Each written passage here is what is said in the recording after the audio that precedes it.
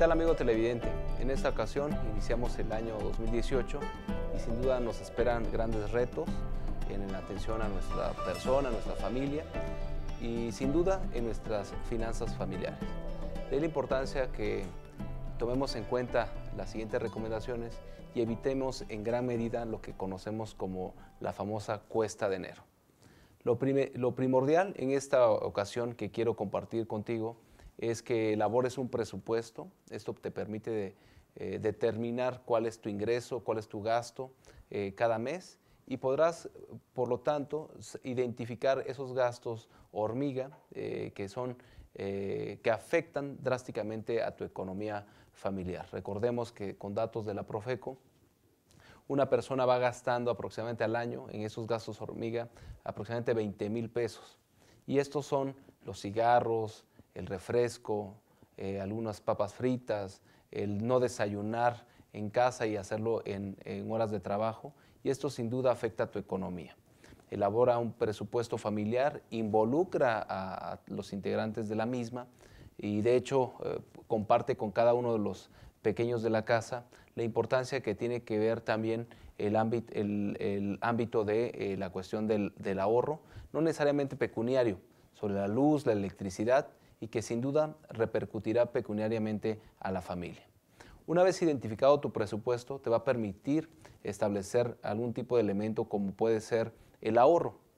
Eh, la mayoría de las personas en nuestro estado no tiene el hábito del ahorro y con ello eh, podemos tener algún tipo de emergencias, algún tipo de actividades en las cuales tenemos que necesariamente acudir al crédito y lo más importante es contar con una reserva para emergencias.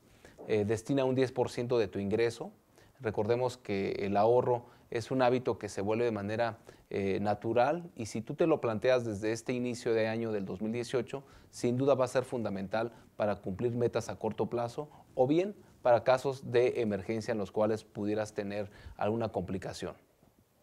Una vez identificado el presupuesto, el ahorro, eh, identifica todo lo que tiene que ver con tus créditos afrontalos de manera directa, de manera personal.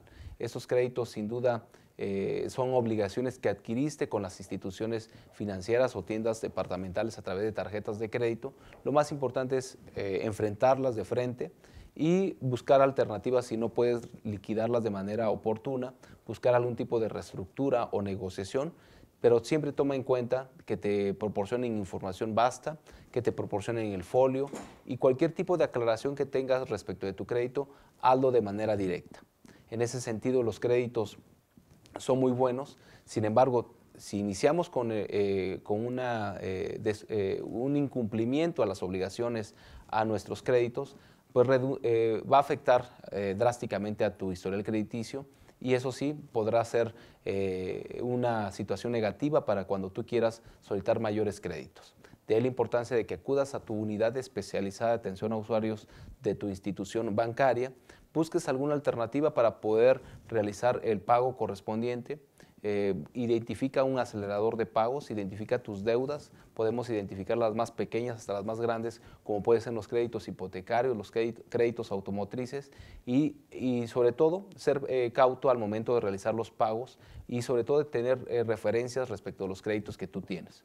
Por último, amigo televidente, en este inicio de, de año que se ve complicado en materia financiera, lo más importante que debes de tomar en cuenta sin duda es tu cuenta individual. Eh, identifica en qué afore te encuentras, haz alguna aportación voluntaria a tu cuenta individual.